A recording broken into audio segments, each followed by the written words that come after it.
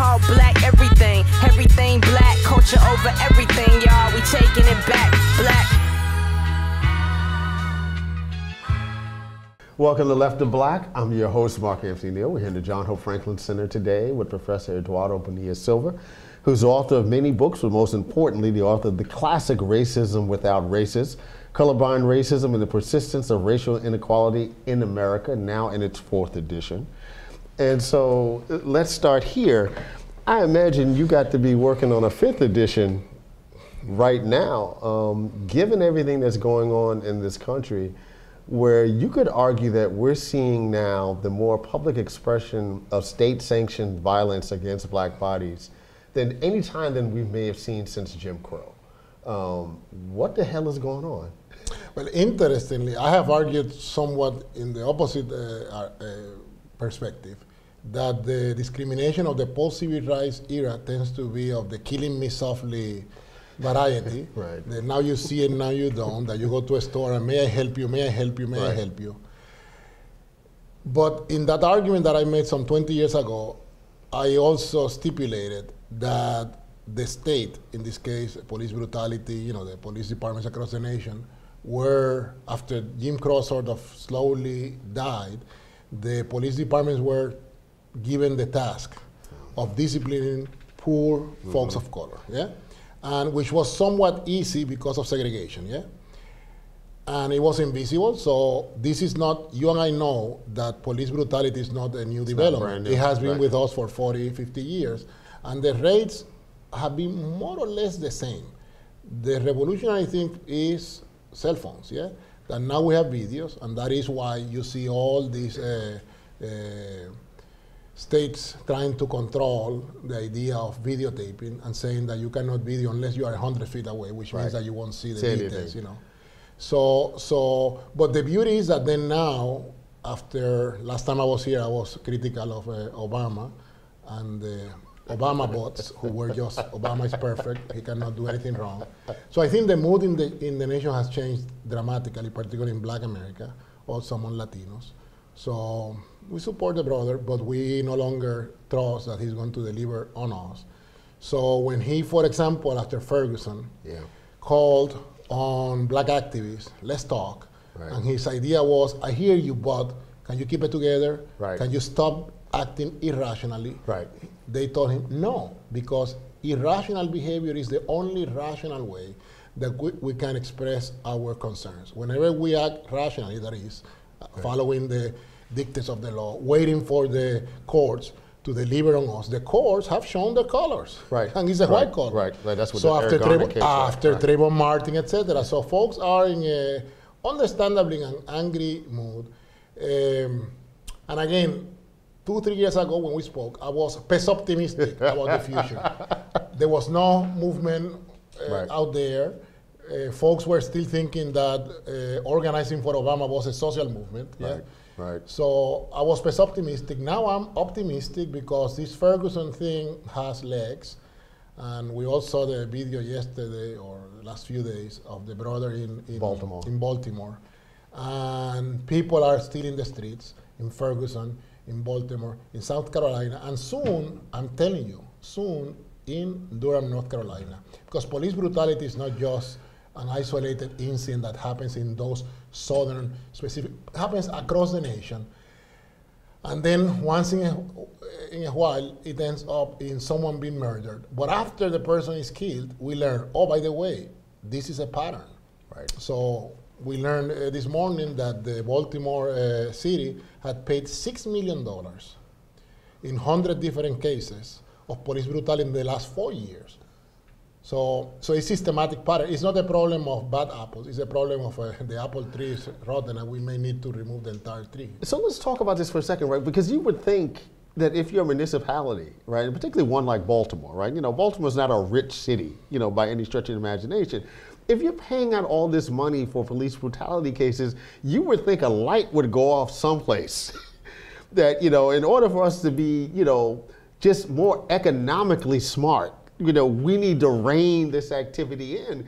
You know, how does these things not go together, right? How is one hand not thinking what the other hand is doing in, in this context? Well, in part, is again going back to what was the task of police departments right. in the last 40 years. So therefore, the broken windows, right? This idea of broken windows, right? Control, control, control, discipline, discipline, over patrol, over patrol.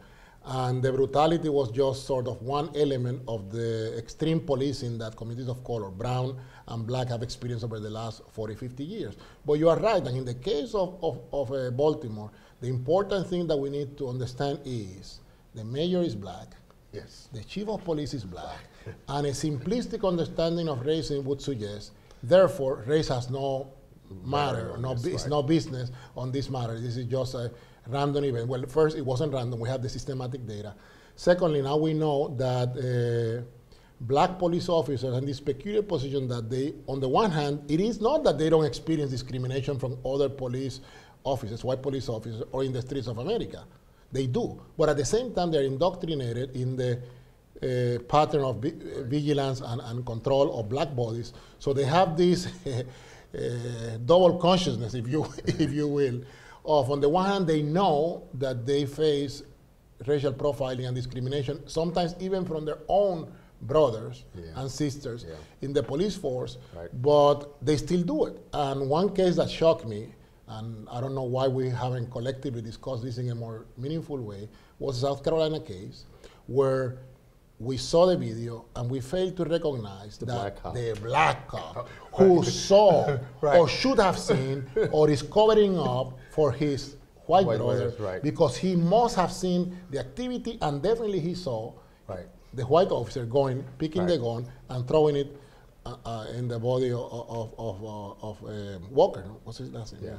I mean, that, but that also speaks to how simplistic we think about race in this country, right? Race is always just black and white, right? We don't see the way that even black bodies, black agents Can are working as agents of the state, you know, in terms of controlling, right? And, and when you talk about a city like Baltimore. And politics too. And politics, right? Clarence Thomas should but, but when you look at a city like Baltimore, I mean, part of the reason why you elect a black mayor and have a, a black police chief, because you need those black folks to have that same element of control over black bodies you know, that wouldn't work, right? A white mayor in, you know, in Baltimore doesn't work the same way, right? A white mayor in Oakland doesn't work the same way. So a white need, mayor in Detroit doesn't work the same so way. So my contention is that in this post-civil rights era, you can get false positives, yeah. meaning folks that uh, have the right color but the wrong politics, and therefore we need to move beyond epidermic uh, notions of race to political notions of race. So I want people who have the right politics, yeah. the right color of the politics, right, and the right color of the skin. Because sometimes, often, you get these neo mulattoes, or you get a dark skinned brother, yeah, uh, in the Supreme Court, who then has the, and, and, I remember, you and I probably remember yes, yes. during that case, how the NAACP took a long, a sweet long time to make a decision about whether to object right. or not to Clarence right. Thomas. They ended up objecting, but too late, yeah? Right. And the argument, now we have people sort of confiding what was the discussion. The discussion was, he's black, so he'll turn. Right. How is that working for us right, as a right, people? You know, 25 yeah, years yeah, later, 25 right. years, he hasn't turned, you know. And the argument we had is like, you know, on top of everything, in terms of his conservative politics, he definitely wasn't qualified because he hasn't said anything. Yeah. He just follows whatever his mentors in the Supreme Court uh, say or do, and then he just says yes. You're watching Left of Black. I'm your host, Mark Anthony. We're here joined today by sociologist Eduardo Bonilla Silva. Sociologist here, former chair of the sociology department here at Duke University. The author of the classic Racism Without Racist, now in its fourth edition, and I'm sure he's readily preparing a fifth edition, given everything that's going on in the U.S. now. Have you been surprised? Uh, well, let me not even ask it that way, right? If you're President Obama um, and Ferguson pops off, Trayvon pops off, all this stuff is going on. You know, are you waking up one morning going like, what the hell just happened, right? Because I'm sure of all the things he could imagine that would have come during the course of his presidency, he didn't see this coming, right? And and there's almost some poetic justice to it, right? Because you know his presidency starts, you know, with a police officer arresting Skip Gates in his house. right? And, and the president comes as about as hard as he had ever come on race. He gets spanked for it, right? He spanks Eric Garner for talking publicly about it, and then he kind of backs away. And but now he's in a position where he can't. right? In some ways, he has to deal with what ultimately will be the defining crisis, I think, of his presidency. Uh, and that is the tragedy, yeah. That uh, so you know that in my in my uh, last versions of the book, I took Obama on and called him neoliberal. That on race matters he was Right. not going to Right, right. do much, and I claimed that also on international matters he wasn't going to do much. So now in his sixth year, he's doing a few things on Cuba, etc. And you know we're happy about that, and he's trying uh, uh, delicately to deal with the situation in Israel. Right. But on race, he has been consistent. Right. He has not touched that. uh, you're right. Only once, yeah. Right. When he made that, Except my brother's keeper, right? Which is which is which is then a problematic uh, sexist initiative, yeah. Right. In which people, white folks, don't mind that uh, uh, perspective because it reinforces the notion of black men need discipline. Right. They need uh, to be told. He's doing the same thing that the police officers are doing in the hood. in right? the hood, Function the same uh, way. the right? same policing. Let me tell you, you need values. You need to pull your pants up, etc. Get a job, learn how to speak proper English, etc. So, so that is the interesting thing that now, honestly, in a sense, he could be a free man of color. Yeah, Right. He's not running for anything again. Right. So he could have go, come stronger. He could. He should have gone to Ferguson. And after Eric Holder gave him the best way of doing it, it's like, hey man, this department is corrupted. We need to close this thing down. right. He could have then taken a stronger position rather than doing what he did, which was meeting with activists behind closed Closed doors, doors, right. which backfired because he thought he was going to somehow control them and use his charm. Right. And again, three, four years ago, perhaps that would have worked. No more. So uh, young activists are no longer in the mood of, well, he's my president, he black, he ultimately is on my side. They are like, ah, we need to push, and if you're not doing anything, then history has, you know, uh, move on, and we don't care. Have you been surprised? You know, you've been on these college campuses as long as I have. I, I can't remember this level of energy from young folks really since the anti-apartheid movement of the 80s, right? I mean, and that's the kind of stuff that kind of, you know, brought me to maturity in terms of some sort of political sophistication about what was going The on. in the. 1980s, yeah, yeah. Um, you know, there was that moment, of course, with Rodney King, you know, and, and not surprisingly around police brutality, right? The, really the beginning of the digital era, right? You know, the, the, the Holliday video that shoots all of this and it changed the game for a little while, right? Now everybody has handheld stuff and it's changing the game. But have you been surprised by almost the level of sophistication that young folks have deployed, not only just being in the streets, but the way they're using social media, the way they're learning how to manipulate mainstream media, right? That great scene where Talib Kweli is being interviewed by Don Lemon, you know, live on CNN, and he pulls Don Lemon's coat. You know, why why are you functioning the way that you do, mm-hmm. right? You know, to the detriment, right, of Of what your- we're trying to do in terms of, of you know saving black lives. Well, the first thing is that let's be humble and acknowledge our extreme limitations because none of us predicted this. Right, So again, right, I right, I admit I failed to predict this in part because social movements are extremely hard Right, to, to predict. predict, Yeah. right. So, so sociologists have made a, a, a career out of trying to explain social movements, except that we tend to do it ex post facto. Yeah. After the movement happens, we have beautiful explanations, but the test of civilization is predicted.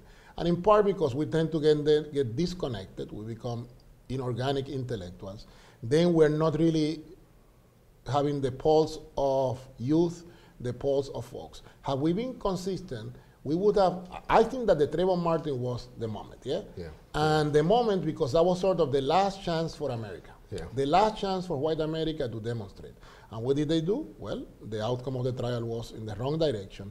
And the opinion polls clearly showed Right. two nations Right. one black, one white. And the black nation is also a brown nation because blacks and Latinos saw eye to eye in a case that could have been viewed as a divisive case Right. because, after all, George was Jorge Right. Zimmerman. and I don't know that, I'm assuming that most of the viewers don't know. Right. But he appeared in Telemundo and in Univision, and his Spanish is actually quite good. And interestingly, Wow. in the interviews in Spanish, he looked better than in the interviews In in, English, English. where he sounds callous, etc. Yeah. But in the Spanish, he, he sounded That's almost humble, you know.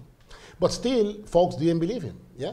Yeah. So he, they they were like, "You are the issue," and you have it, all this horrific record of abuse, abusing women, etc. So you should be incarcerated for something, you know. so hopefully for murder, but if not, at Right. least for all the other uh, things you have done uh, uh, in your life. When we go back and look at this moment again, um, Eric Garner in New York, when we talk about Ferguson, now we're looking at North Charleston. You know, one of the things that's been really surprising is that, you know, these aren't necessarily big cities, right? We expect this from LA, we expect this from New, New York, York. right? Chicago, right? You know, the fact that it's small town America, right? And of course, one of the things that's come out in all of this, Ferguson being a perfect example, are the ways that these municipalities are over policing, right, to generate revenue.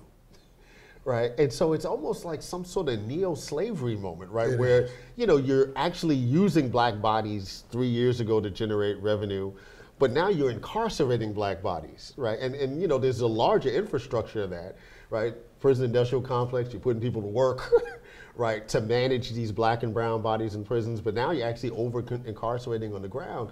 And one of the things I found was, you know, but ter- ter- terrifically ironic, the number of black folks who signed off on helping municipalities pass legislation to criminalize sagging.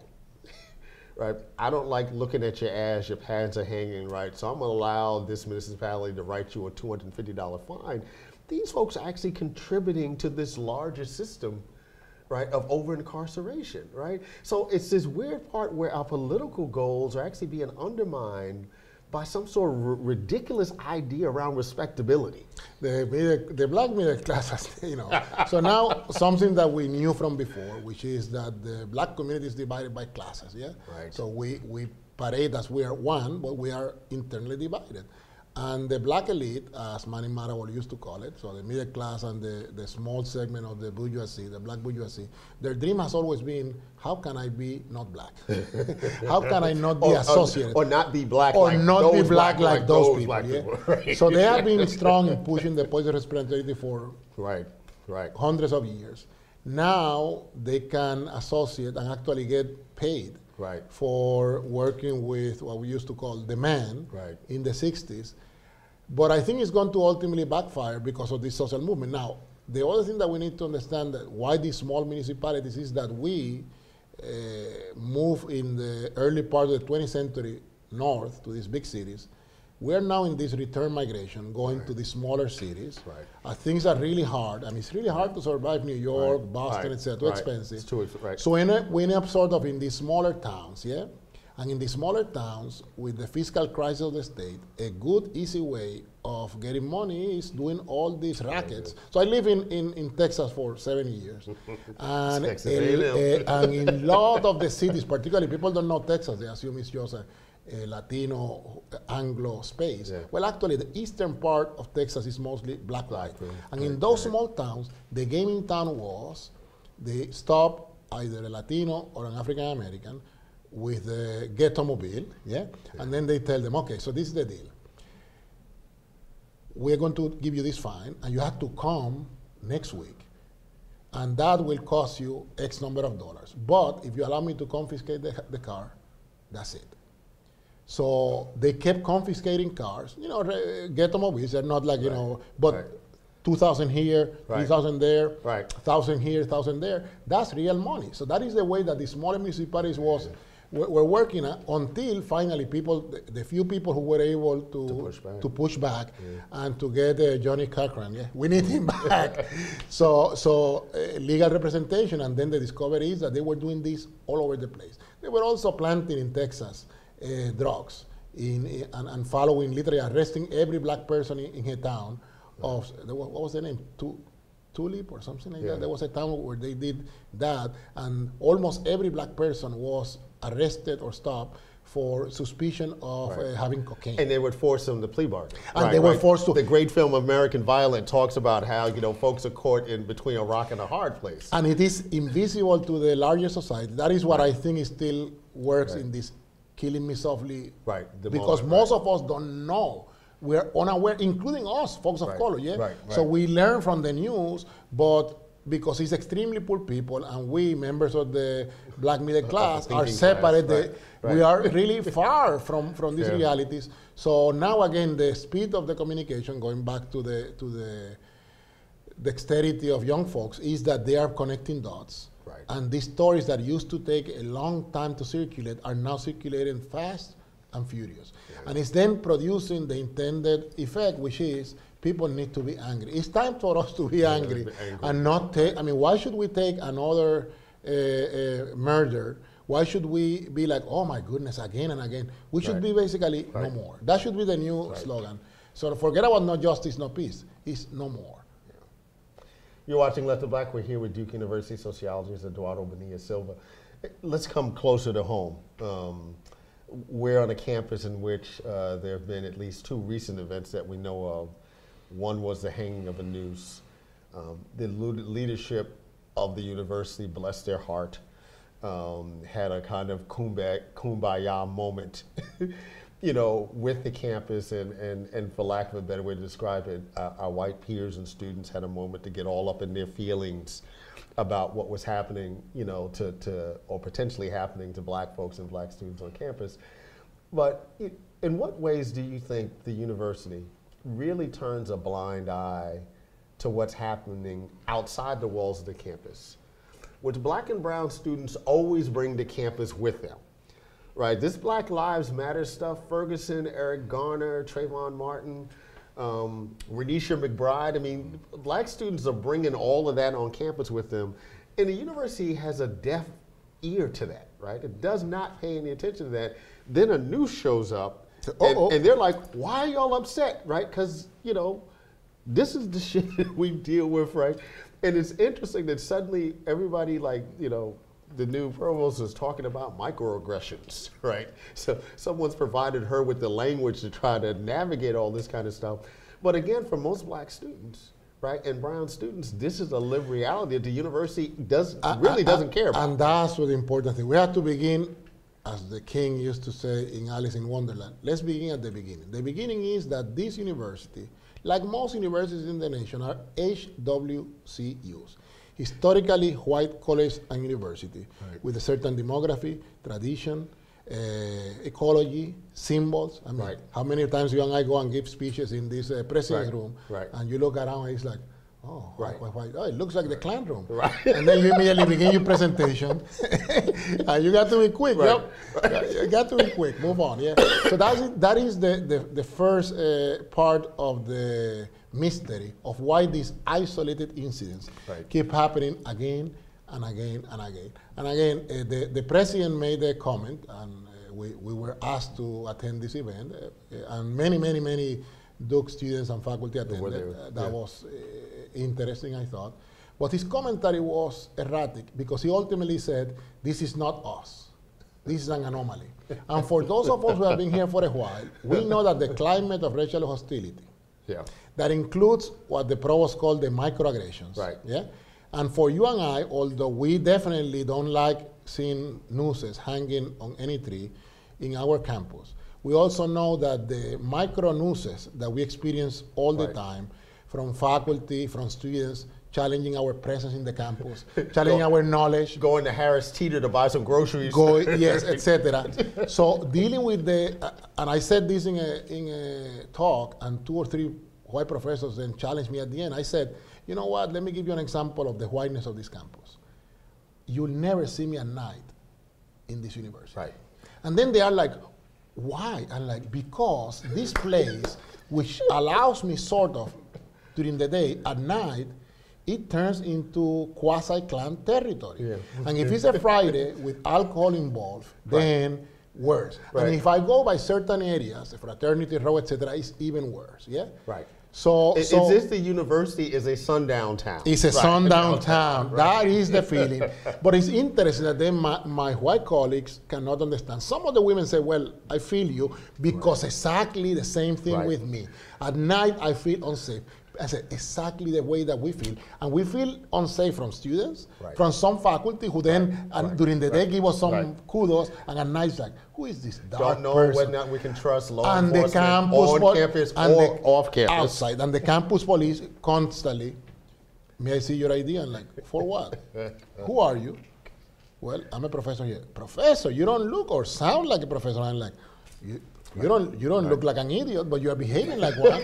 so I, if I want if you want my ID, actually that's a dream. I never do that Right. because I don't don't want to die in a silly way. Right, yeah? right, I will contest right, later on the, right, the, the right. incident. But if I were to do something like that, I would be the next Eric Garner. Yeah. Right. So he, he, he disobeyed an order. I mean, th- think about this. Uh, This morning I was just mad, furious. And again, we, we have the right to be mad. This young kid killed in Baltimore, Mm-hmm. ran. So we are literally collectively on the run. We are afraid of the police. Yeah? yeah. So what did he have? A freaking pocket knife. Right. A, a rap sheet that according to the police are like, oh, this is nothing. Right. Yeah? And he's afraid of the police. Right, and, and that's the thing, because you know what I mean. It's like, well, why would he run? Why wouldn't he run? Right. The rational thing to do is actually to run because we've already seen. We have seen you what know- happens when you don't run. Right. Eric Garner couldn't run. I mean, just physically, you know, he wasn't going to go run down the block, right? So, you know, staying there doesn't save you, right? Yes. You know, actually listening to the police and following their directions doesn't necessarily save you. So therefore, that is the quandary, Right. and that's why we have to then throw the ball back to the white side. Say, analyze that. All these young kids running away from the police, scared. And if you were to talk systematically, I have one of my students doing a project in New York. Black and brown youth in New York are rightly so afraid of the police. right. So whenever a police officer comes, and occasionally they may have marijuana, or they may not. I had a, a- friend who, who was just urinating in public. Okay, that is a misdemeanor, little stuff. Yeah. What did he do when the police came? Ran away. Right. And then the case became much bigger. But it is because of this continuous violence over policing and the commentary that the larger co- community, white folks, don't, don't right, know right. is the hostility, the kind of, of, of brutality, verbal abuse that all these youth have been submitted since they are little kids, you know, in the streets of, uh, in the mean streets of America. You mentioned uh, what's going to potentially happen in a city like Durham, right? So Durham's going through this transformation, right? A historically black city that now is dealing with this influx of New York money, right? You know, folks who couldn't, who are out, uh, you know, they can't live in New York. New York's too expensive. They can move down to, to Durham.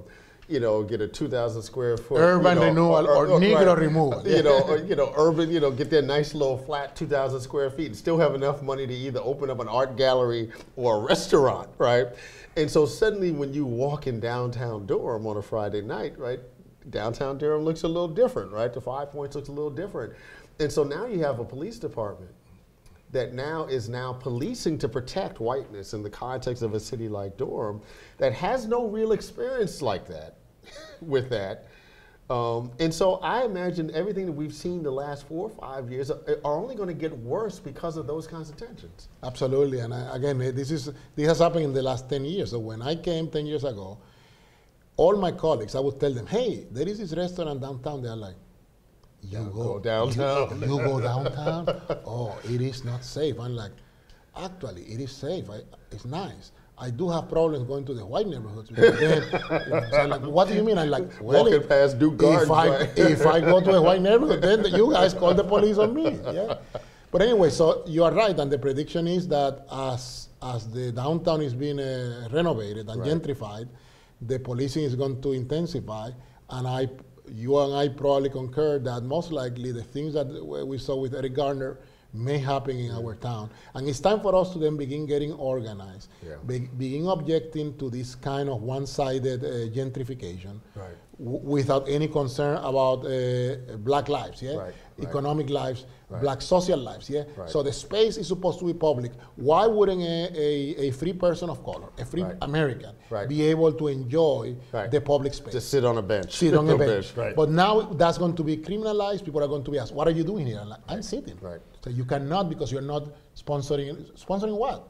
I'm a citizen. I can sit wherever I want. And, and that's where you know the Duke piece comes interesting, also, right? Because obviously Duke has an investment in this, right? It's almost an invisible partner, Yeah. right? But Duke clearly has an investment in this, right? And then when you look at you know who works at Duke, and so we always think about Duke as this kind of white university, right? But you know we're not thinking about the folks who work in the dining halls, folks who work in the dorms, clerical staff, you know, folks who are cleaning our offices when we're not there. And I always thought it was really interesting when the noose thing went down, right? And of course, the message goes out to the students because, you know, they're the pipeline to the money here. Um, if you're working in the dining hall or someplace like that, you know, there's a noose that was hung in your place of employment. Right, and this is for working class black folks, you know, Who were the ones who five- four or five generations who, who have survived Jim Crow in places like Durham, you know, North Carolina, to wake up one morning, you know, 50 years later, there's a noose in your place of employment. And the university doesn't have any language to respond to that, right? It doesn't even recognize it, right? Let alone have language to respond to it. Yeah, and, and the mo- I mean, uh, to add uh, complexity to the matter, one thing that I think we collectively, we folks of color, did wrong in this moment was, so the noose incident could have been a catalyst for a, for larger social action. yeah? Absolutely. So we were irritated, and we did a few things for two, three days. The Duke basketball team won. Semester is ending. And I am afraid that this horrific incident will become Right, just lost, right. another isolated incident. Next semester begins, senior students out, new students Come in. Right. come in, dealing with Right. the And that's how that universities manage this, right? and that's how they manage crisis. And, and that is why the, the, the only language that uh, uh, universities understand is the language of uh, Leviathan. And it is creating crisis in public relations. So we fail in not matching the moment. If someone is hanging a noose, we need to fight back, take buildings, do what the students are doing at the University of Michigan. Yeah. Time for us to take building, buildings, take, for us to take, be, be mad. Otherwise, as you mentioned, so the administrations, they are they are excellent and extraordinary at meeting, asking for a meeting. Let's meet Right. and let's meet again. That they are paid to, for, for, Right. for to meet. we cannot afford to meet. we should. right, say, I don't need to meet. I know what happened. What are you going to do? And we want A, B, C, D, E, F, G. On the and the fact of whiteness, that's one of the problems that I thought in terms of the demands of the students. So if this is an HWCU, the policies that we need need to be radical, even revolutionary policies to try to de-whiten this institution Yeah. and make it a truly multicultural space. That will in, in- involve not just changing the demography in terms of faculty and Right. student body, but also administration, uh, retooling. So our colleagues need to be retrained, yeah? Yeah. Because the problem of microaggressions, Yeah, right. the, the stuff that you and I have gotten from colleagues that they don't even know. What did I do? I'm like, well, right. don't you remember that you said that my, you said that you do research and that I do me research. Right. What? How do you think, Think I, I feel? feel, right. How do you think I feel when you basically tell me that all my work is nonsense Right. and you are the greatest thing after white Right, bread? right. Pun intended. I mean, so so the retooling of these universities to make it a multicultural one and remove the W from the HWCU, that should be the immediate task. And that can be done. University will say, well, si- since racism is na- a national problem, we cannot do anything until the nation changes. And that is baloney. Yeah. Universities claim to be repositories of what is good in society, agents of difference and change. They can begin a radical transformation that could ultimately also help society see we can reimagine ourselves, we can reinvent ourselves. Nothing short of that will do it at this stage. Bringing one or two faculty of color will not do much, as you know. Right. We bring two, we lose one. Right. We lose one, we, we, we bring two. Right. It, it, that doesn't change anything. You have, it's, it's a moment for us to think uh, new things and to think big. We have been thinking small in the last 30 years, and it's time for us to say, you know what, we have nothing to lose Right. at this stage. Let's try to retool the entire place. No more of these little things. We want huge ideas. Yeah. We've been joined today by Professor Eduardo Bonilla Silva, uh, Professor of Sociology, the Department of Sociology here at Duke University, the author of the classic text, Racism Without Racists, now in its fourth edition, published in 2013. Thanks for joining us today, Eduardo. Thank you for inviting me. Black lights and booze burn when I record for And every black like Troy Davis who never had a fair shot. All black everything, everything black. Culture over everything, y'all. We taking it back. Black